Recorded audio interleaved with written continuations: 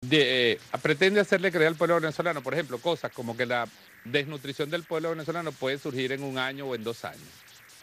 Que si los problemas y, las modificaciones en los hábitos alimentarios son procesos que responden a que yo no puedo conseguir un tipo de alimento una semana o un mes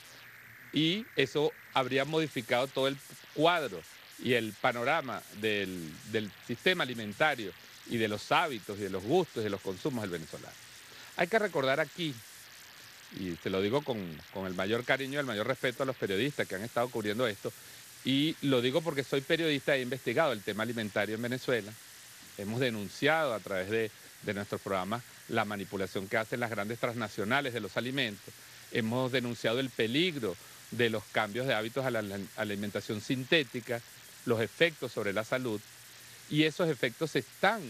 viendo efectivamente, como en las investigaciones del Instituto Nacional de Nutrición lo han demostrado, en cambios estructurales que se vienen produciendo en algunos índices de, algunas enfermedades en Venezuela, producto de por lo menos más de tres décadas de modificación de los hábitos alimentarios venezolanos. De tal manera que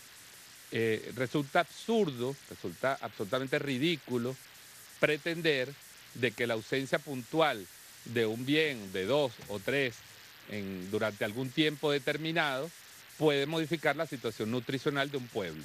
Los patrones nutricionales, como los, los patrones sanitarios, se modifican con las décadas, con los años.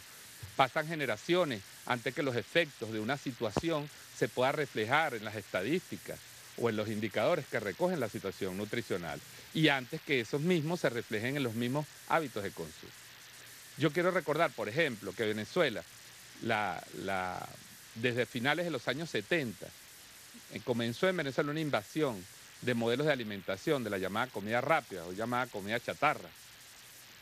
que rompió un patrón tradicional de alimentación en Venezuela.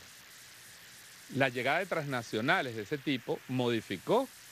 y empezó a instaurar un nuevo tipo de alimentación, la alimentación en la calle, donde la gente eh, puede salir a comer más rápido por razones de tiempo, de trabajo, etcétera, etcétera. Y esos efectos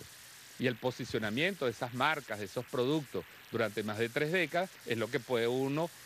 pudiera uno inferir que tiene algún efecto, por ejemplo, hoy en día, sobre los hábitos de consumo y por lo tanto sobre los índices de salud.